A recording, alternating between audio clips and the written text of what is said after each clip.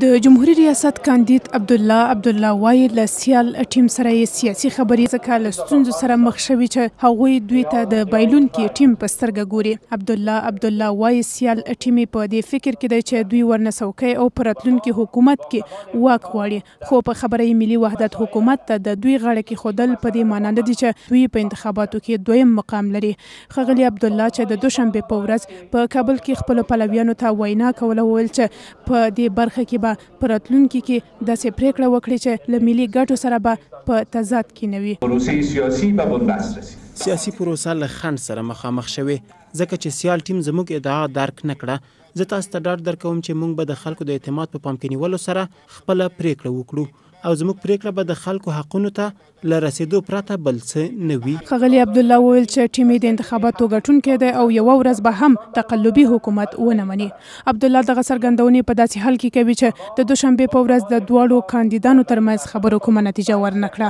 نوموړي د انتخاباتو د تفتیش او ابطال بهیر هم غیر شفاف وباله او ویې ویل چې د دې تقلبي بهیر نتیجه به ونه مني. ده وویل، کمېسیون او سیال ټیم یې هڅه کوله چې د تفتیش پر مهال په شوو درغلیو پرده واچوي، خو په همدې حال کې د اشرف غني احمدزي ټیم وايي چې د اصلاحاتو او همپالنې ټیم د امریکا د بهرنیو چارو د وزیر په حضور کې ژمنه کړې وه چې له تفتیش وروسته به د انتخاباتو نتیجه مني او اوس باید په خپلې ژمنې ودرېږي.